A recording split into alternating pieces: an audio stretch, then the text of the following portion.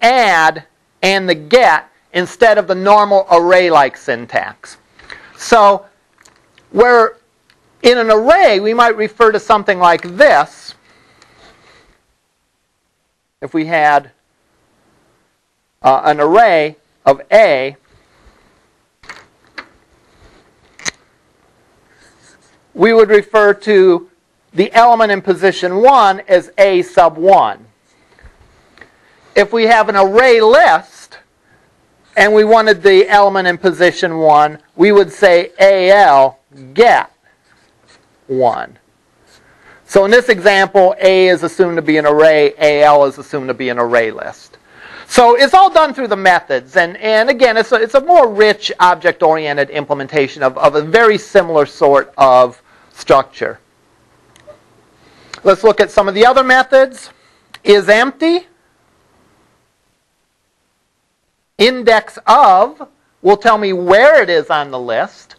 Like, let's say, for example, maybe we're looking to see if Steve is a uh, member of this project, and if he is, then we delete him. All right. Um, remove. We can remove an object if it's there.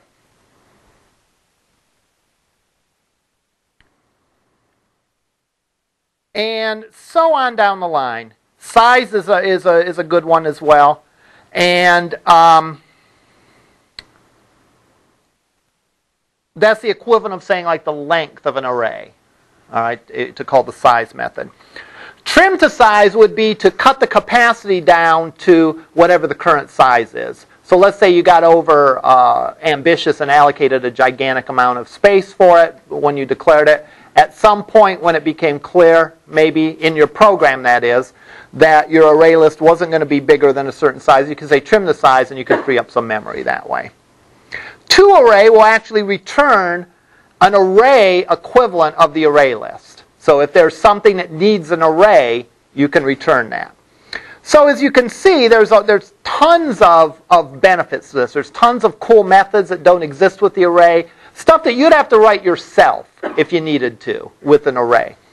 Um, that are already built into the array list. Uh, again, uh, the idea is, is that this is uh, you know, a, a, new and improved array and um, it, it, it, serves the role of being a component that we can plug in and we get all these features that, that are good so we don't have to write them ourselves all right? And anytime that, that you know, we want to look for stuff in the java api that we don't have to write code ourselves that we can take advantage of and so this would be an example for array processing rather than writing a bunch of functions that manipulate an array a lot of them are already available on the array list now are there any drawbacks?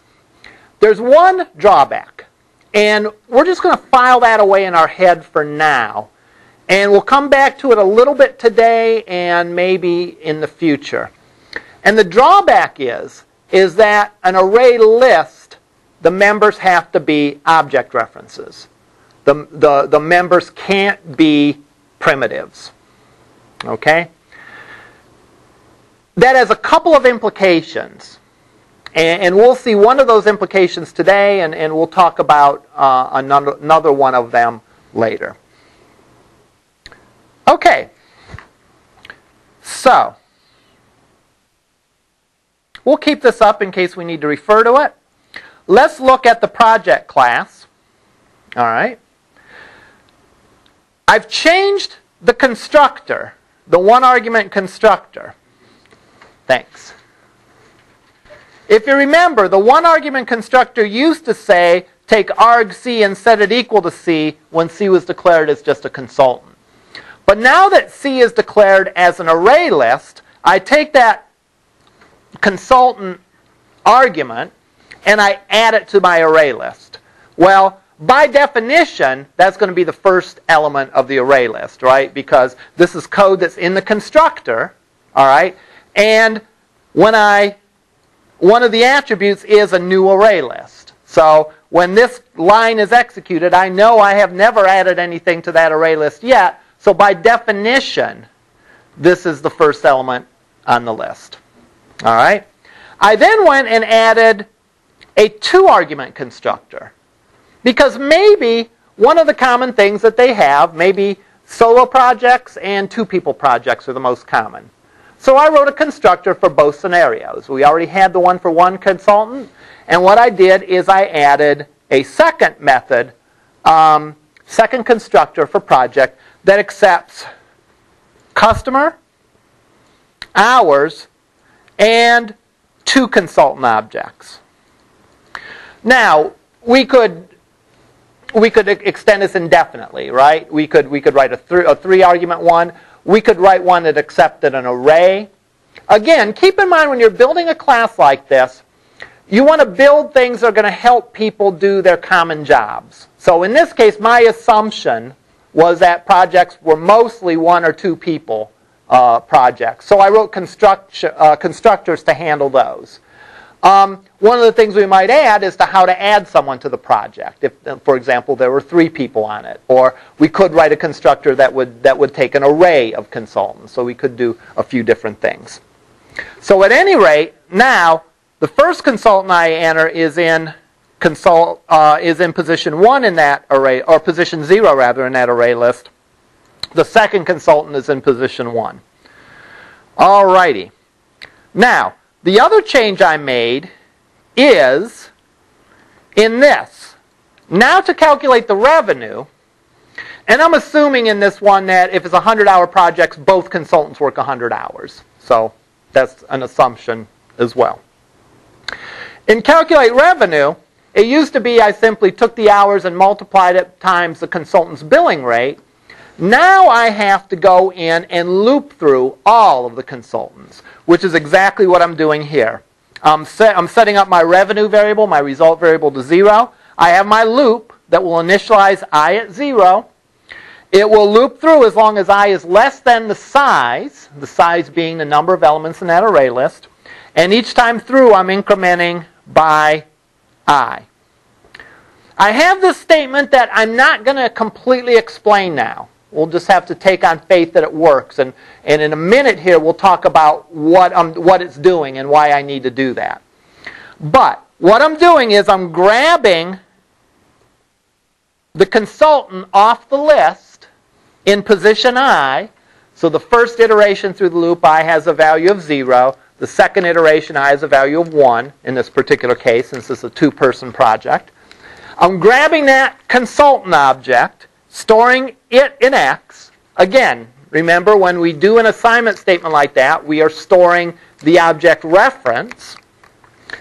And then I'm going and I'm calculating and I'm adding on to that result the hours times that consultant's billing rate.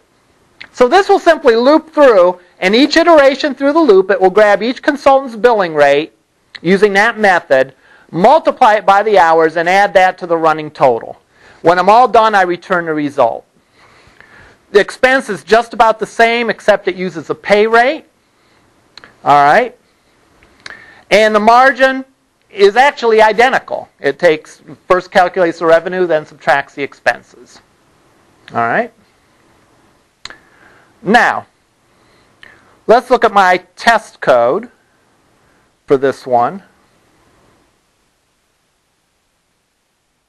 My test code for this one creates two consultants, Mike and Susan.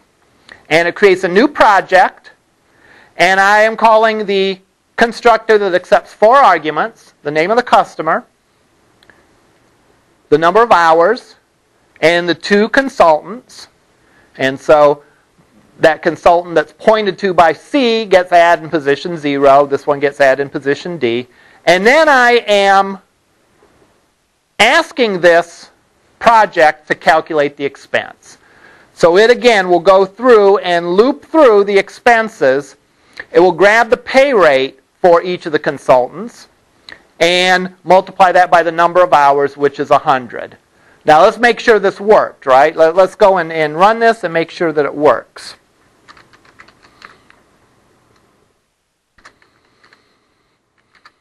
and it says the expenses are 7000 Is that right? Well, let's take a look. What kind of consultant was Mike? Regular, right? Because I called the one argument constructor for Mike. And that means that I'm defaulting his type to R. Susan, on the other hand, I'm calling the two argument constructor on, which means she's set to a senior consultant. So Mike is regular, Susan is senior. Therefore, Mike's pay rate is going to be 30. Susan's pay rate is going to be 40. So Mike's contribution to the expense will be 30 times 100, which is 3,000. Susan's will be 40 times 100, which is 4,000. Add that together, 7,000. Okay? Now again, this is only set up to do two, but you can easily see how we could expand that. All right? So that works.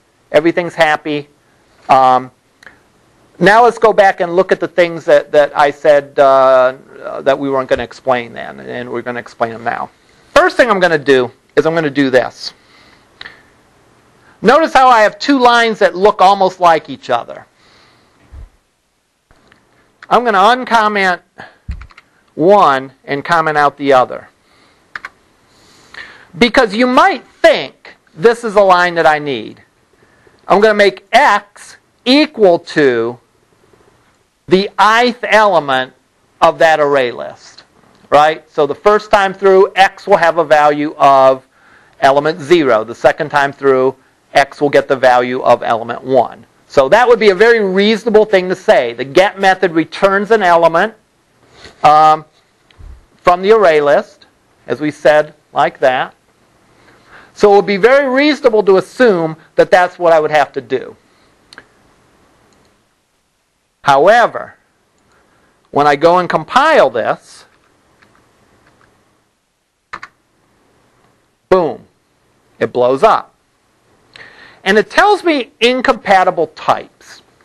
All right?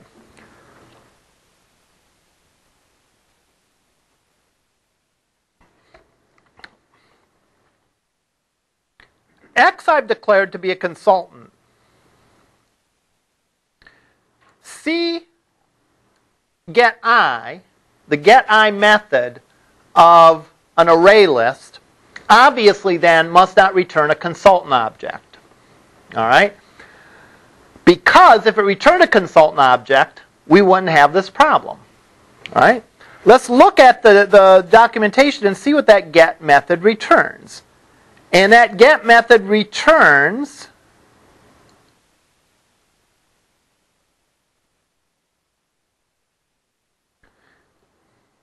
I don't think this, this documentation is as clear as it could be.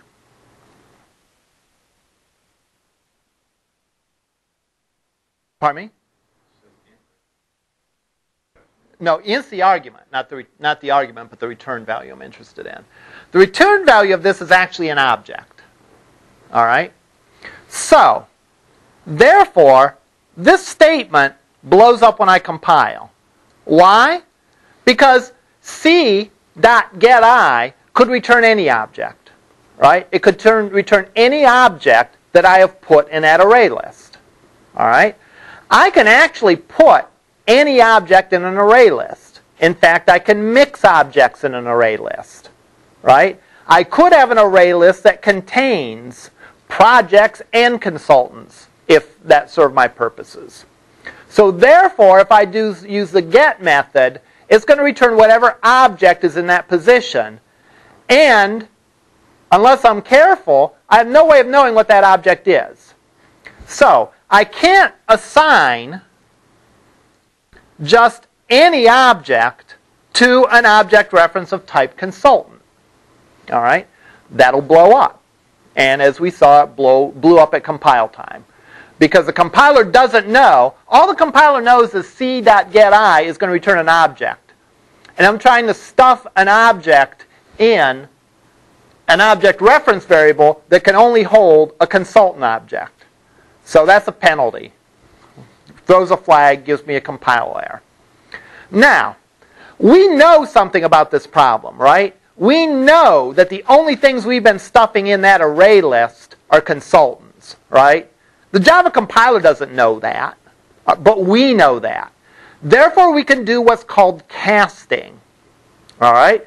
And what casting is, is you could think of it like uh, converting in a way probably the better way to think of it is think of it as I'm going to treat this thing like something other than it is. All right? So, the line that works then, the line that I'm going to now uncomment out, says take the object that you get from this method and let's treat it as though it's a consultant object. We're going to cast it as a consultant object. Now, we've seen a similar syntax before in this class. Does anyone recall when? I'm not making this up. We did.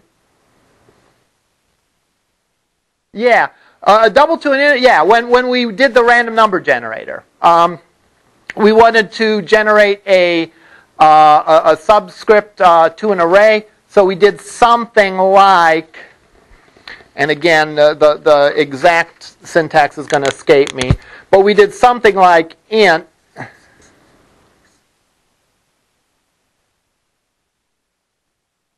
was it math random times 6 maybe? Something along those lines. And what that did is this expression actually is a double. Well, we said, okay, we know it's a double. We want to treat it like it's an integer.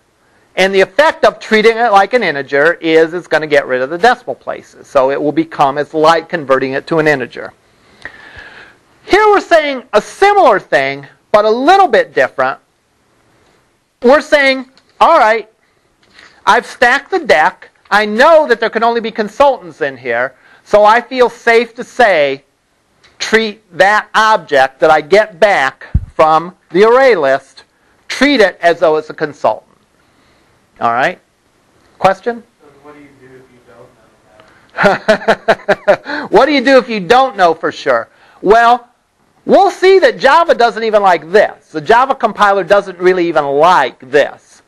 What you would do is um, there, there is code that you can test to find out the type of the object it is, and then you could cast it accordingly.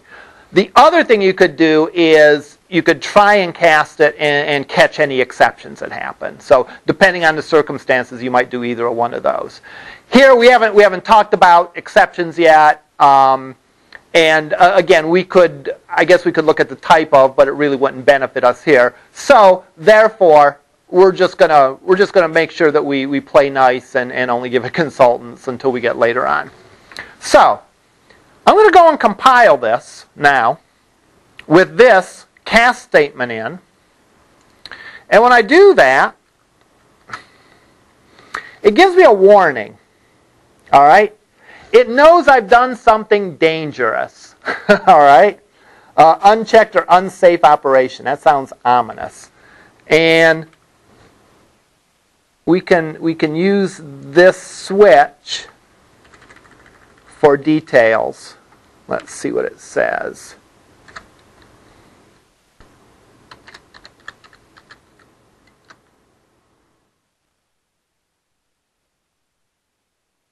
Oh. I think that means that that's going to suppress the warning message. Maybe. I don't know because we compile with X, L, I, N, T, unchecked.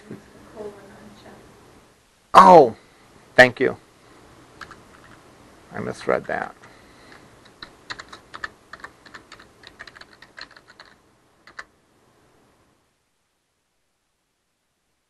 Hmm. Uh, I'm, I'm sort of missing um, what's going on here. But at any rate, the bigger issue is it knows we did something that could be bad.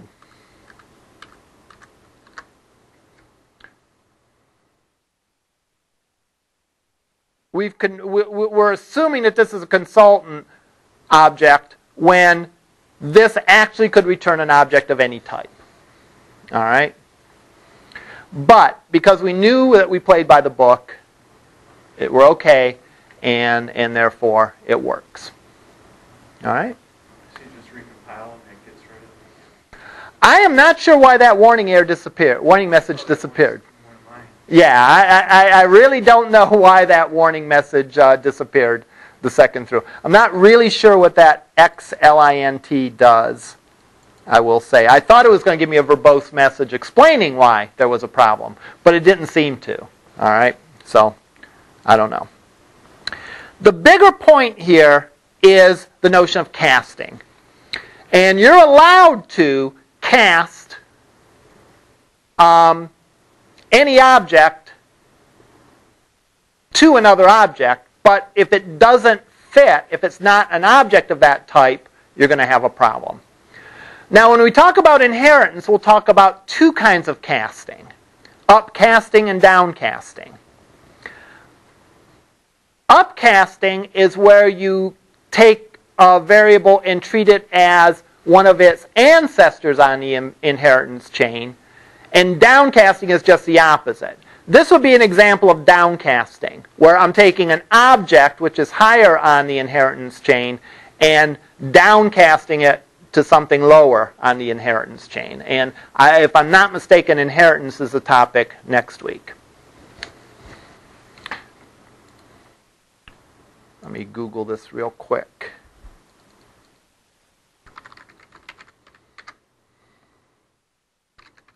To make sure I didn't switch up and down casting.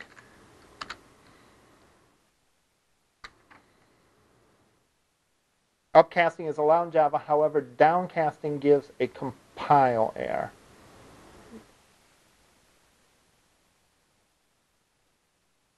Yes, okay. Right, because I can't tell an object. I was trying to, I, okay. Got it. All right. So, now let's go and extend this a little bit. Let's go in and where we can maybe remove Susan from the project. All right? So let's write a method on the project that says remove consultant.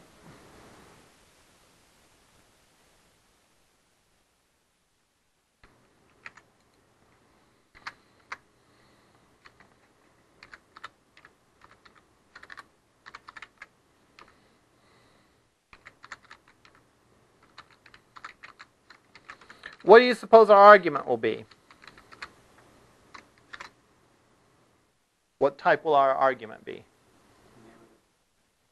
won't be the name of the consultant. We'll give the consultant object.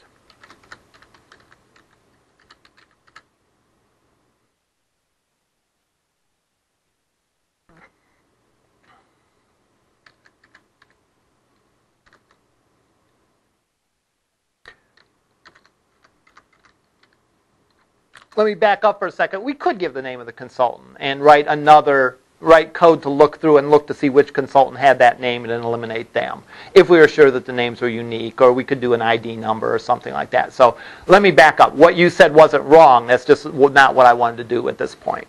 All right. Now, we can look at the Java documentation for the array list.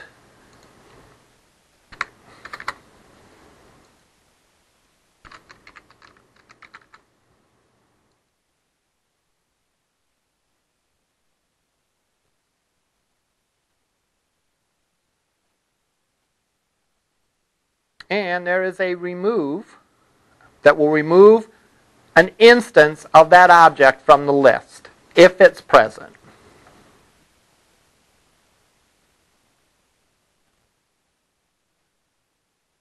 So I can say then c dot remove arg. And that should do the trick. C is our array list. We call remove, and we're removing the consultant argument that we pass. Let's go and change our test case to we'll calculate how much the project will cost with Susan on the job and how much the project will cost without. So I'll create it with the two uh, consultant constructor. We'll figure out the expenses. Then I'll say p dot remove or what I what I call that function P dot remove consultant.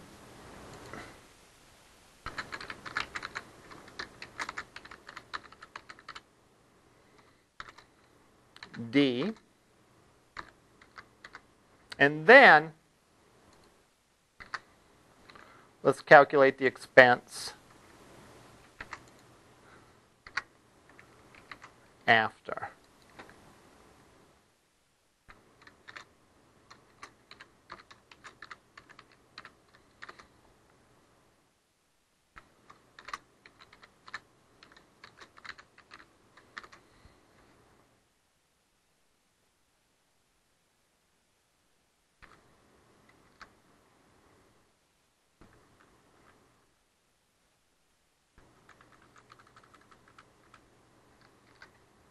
All right, so sure enough, it's 7,000 with Susan, 3,000 without, because then you're only left with Mike, who's a regular consultant. That makes um, $30 an hour, so 30 times 100 is 3,000.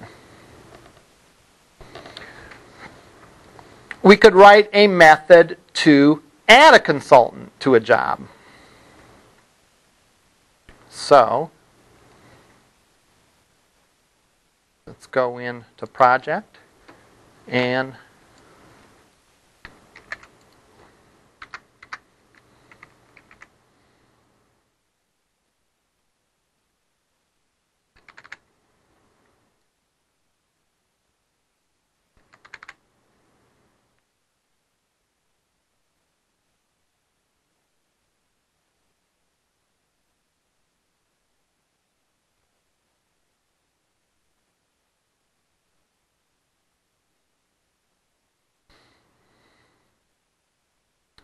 And let's add another regular consultant called Jeremy.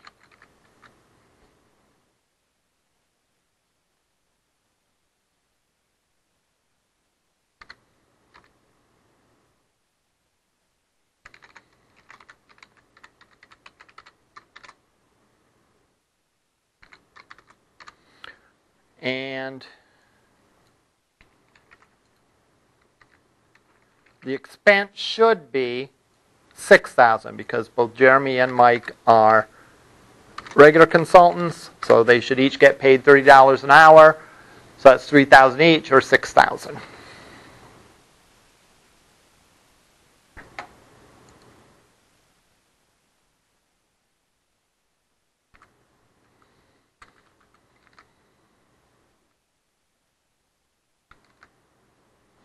And sure enough, it goes through and does that.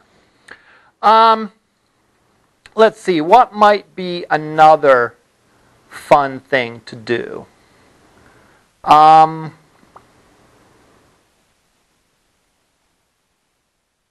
let's, let's use the contain method. Let's see if someone is on the job. All right?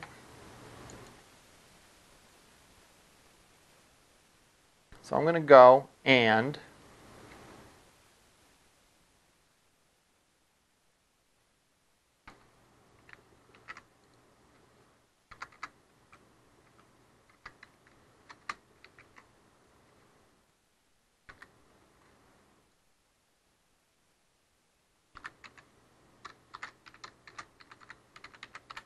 is on project and I can say returns return C contains argument. And what that will do is that will see if that consultant is on part of the job or not. All right? So let's go and save this. And let's go in my test. And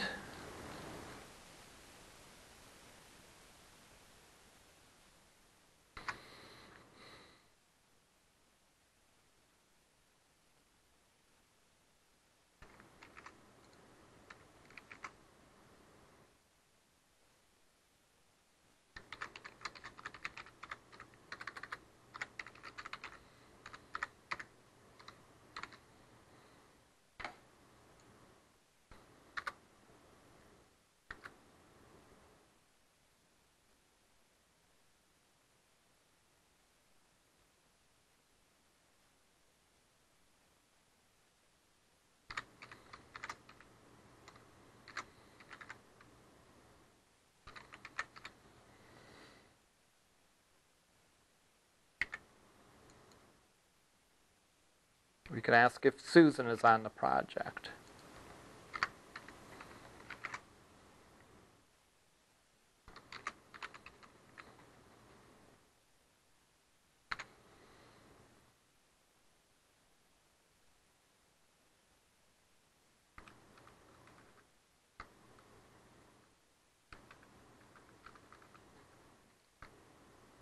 Mike's on the job, Susan isn't. Now,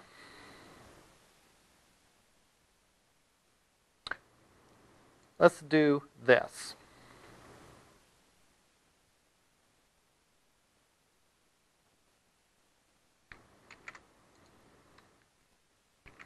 Consultant F equals new consultant Mike.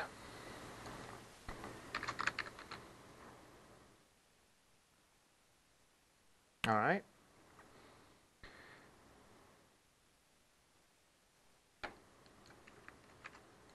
Oops, I only want one of those.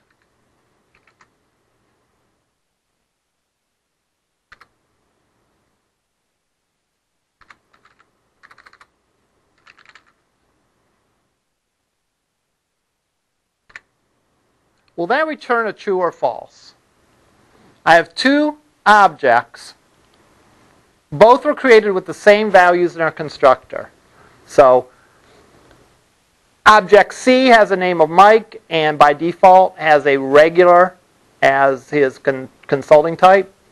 So does um, object reference F.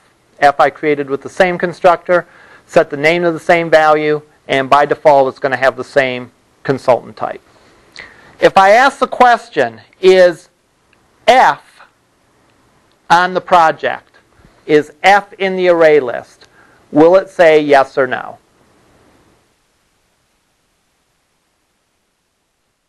Okay. All right. Pardon me? You didn't have him. Okay. But I added I added Mike up here. Keep in mind I might I might be just trying to fool you by saying that. So let's look.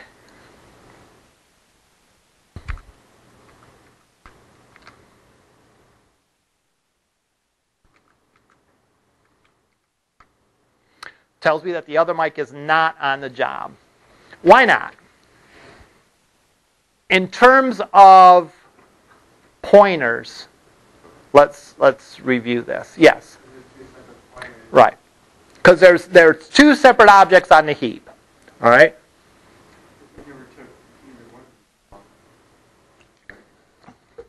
Well, let's make sure we see the code. I added Mike to the project. I never added F to the project. All right? And then I asked that. So the point is, is when you say is an object on the list, it's saying is the object pointer on the list. It has nothing to do with the individual object attributes, I guess is the point I was trying to make. So uh, another way to put that would be, you know, the first Mike, which is in C, might have a pointer of 2000 F might have a pointer of 9,000.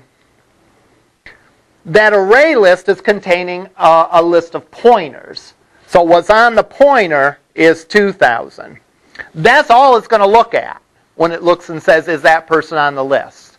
Is it's going to look and it's going to compare the pointer and say, the object that's pointed to, or the object that's in position 2,000 on the heap, is that on the list? Yes, it is. The object that has a value uh, that, that, that, that's in position 9,000 on the heap, is that on the list? No. So, so it has nothing to do with the values of the attributes or all that. That's important to know when you're comparing objects even. If you ask the question, does this object equal that object, you're not comparing the attributes.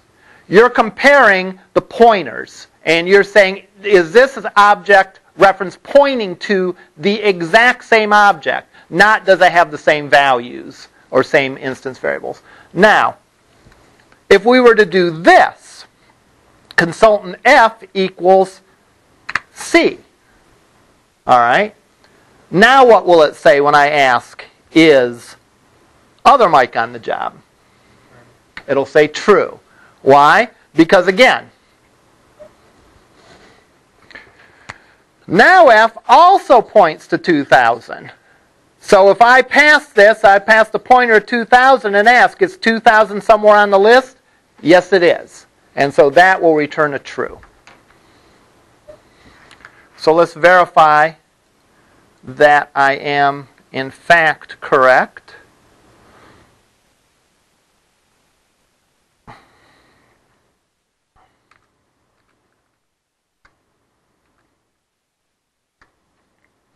And sure enough, it tells me that the other, other Mike object is, is on the project.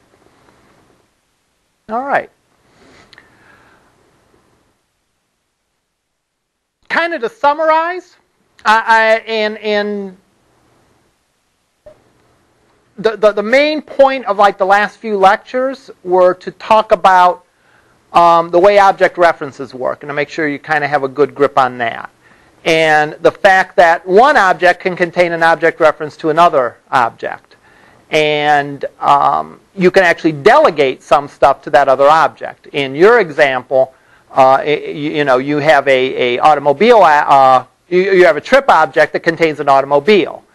When I ask the trip, how expensive are you, what's your expenses, it's going to get part of its answer from the automobile and part of its answer from the lodging object.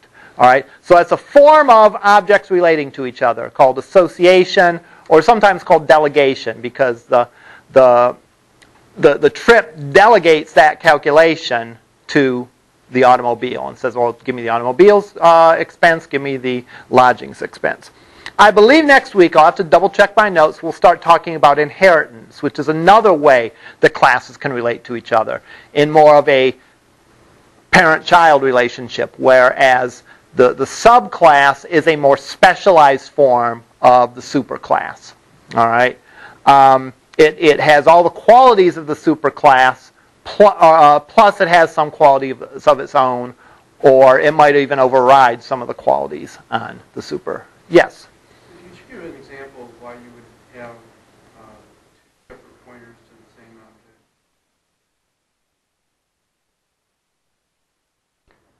Why, why would you have, why would you reference the same object? From a, from a, Well, uh, in a practical, in, in yeah. So in a non-test environment, why would I do that? No, no, not not that. Um, well, let, let, let's let's think through.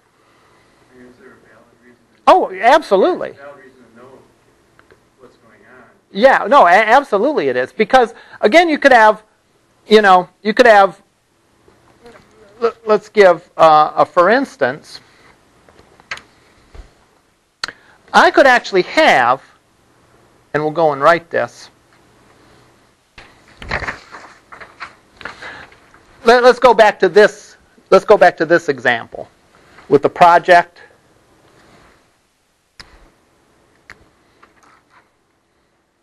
Let's see if this one works. With the project and the consultants. One of the things the project has is the project has an array list of consultants.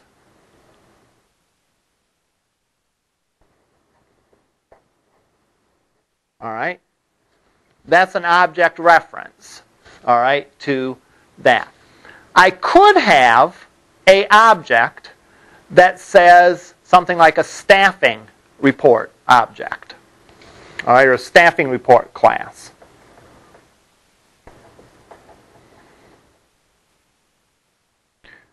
Where I'm listing all the projects that my organization's doing and, and who's working on them. All right? I could actually have a method on the project that says get consultants. And that get consultants could return that array list. Okay? So this staffing report could maybe be looping through a list of projects. Somewhere in there, it could say, it could have its own array list, array list X, let's say. X equals whatever my project is, dot get consultants. So there we have two, and, and then there could be code here to loop through and to print out the list of consultants that are there uh, or, or whatever.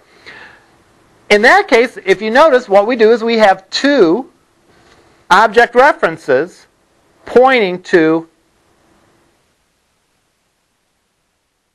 the same. Uh, I, I'm pointing to the wrong thing. Pointing to the same object in the heap. Yeah, you might not. Yeah, the way I'm doing. In other words, yeah. In other words, the test code I write might be a little contrived just to illustrate that point. I mean, really, you know, the only reason that you'd have code that looks exactly like I do is if you're trying to like trick someone, you know, and making your code hard to read, perhaps. But there definitely is cases where you'll have two object references pointing to the same object. And why is it important to know that? It's important to know that because if you go and make a change here somehow, you're affecting that object in that list. Okay, so you're you're affecting it. All right, because because again, it's it's a reference. It's pointing to it. So it's pointing to the same memory location. All right. So therefore, if you change one, that effect takes place uh, a lot of places. So um, again, the exact sort of thing that I'm doing, you might not necessarily um, have exactly code like that, but you could very well have similar code, and definitely like between two different classes, you could have that. All right. Plus, as you said, it's a good way to learn it. It's a good way to learn what's really going on by, by taking these sort of extreme uh, code that is uh, maybe a little bit obscure to make you really understand what's going on and be able to put yourself in the mindset of what the Java runtime engine is doing. All right, other questions? Yes. I have a question about arrays. Yes. And when you pass an array to a function, Uh-huh. what are you actually passing? Well, what is an array? Is an array a primitive or is an array an object reference? Okay? Yes. An array is, an array is an object reference. So when you pass an array, you are passing an object reference to it. Okay, so if you pass it to a method and the method If you pass it to a method and the method were to change it, it's changing the same objects in there. And we could write a little test code if you want. Um, you know, um, I, I, I don't know. Uh, you know, I, I could do it upstairs. If you're going to lab, I could I could write a little test code upstairs to show you uh, the details of that. Um, but yeah, it, it, it's it's an ob. It, you're passing an because an array is an object. You're passing an object reference. Therefore, you're passing a pointer to it, and that lives somewhere on the heap, and it's organized some way internal to Java. But again, the thing to keep in mind is you're passing the pointer. Other questions? All right, we'll see you up in lab then.